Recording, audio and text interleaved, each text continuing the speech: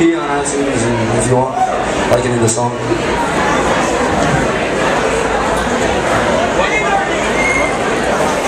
I wanna love you, but you can't stand still.